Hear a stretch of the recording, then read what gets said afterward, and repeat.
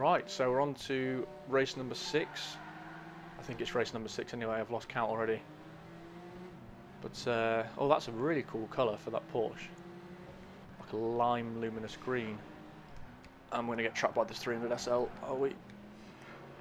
Right, so I've twigged that it is modern against classic in the first two races, and then the second two, I'm guessing it's going to be classic against modern. Or what was modern at the time of the game coming out, because it's certainly not modern anymore. They're almost classics themselves, these cars now. Okay, so we do alright there.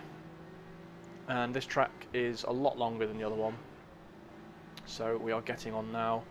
And that Stingray is absolutely blitzing me for pace on this uh, straight here. But can we go through here quite nicely? I think we're not doing too bad there.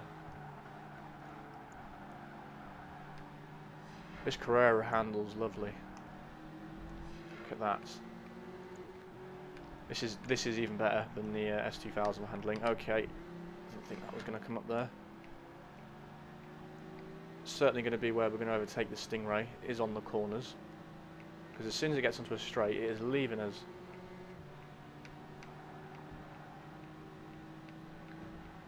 Right, here's another corner. Let's see what we can do here.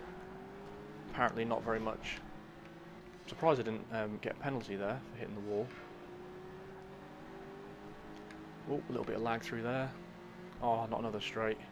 This is going to be battle of the straights and corners. You can see the other ones are miles behind at the moment. Just having to uh, track this Stingray down. Let's get on the brakes a lot earlier this time. That was better. But uh, yeah, this this is handling really nicely.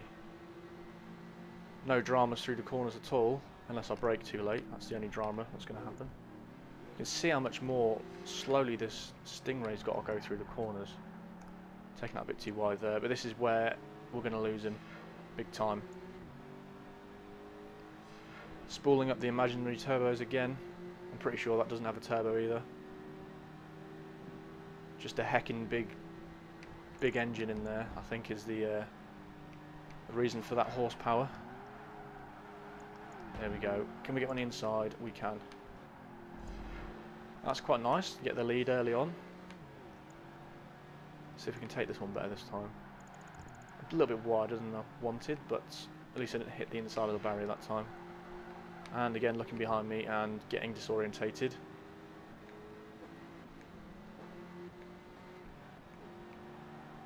Seeing where he's going. Is he going for it?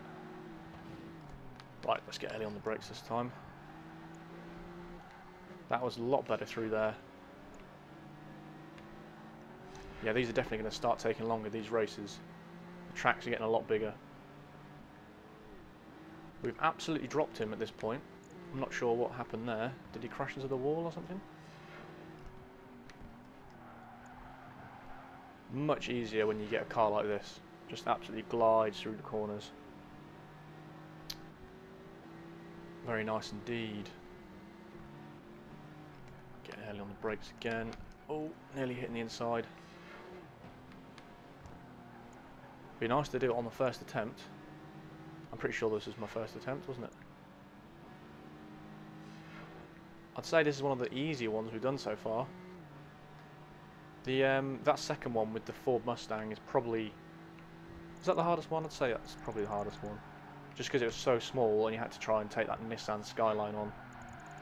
You didn't have much time to overtake it, whereas this is plenty of track. So it's definitely not as bad. As you can see, we're really dropping that uh, Stingray now. Not taking the best lines either. Luckily, this car's really easy to get used to quickly. We can um, adapt to this one. Not too bad at all.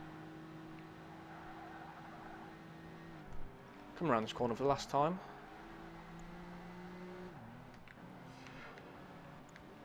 Can't even see him now.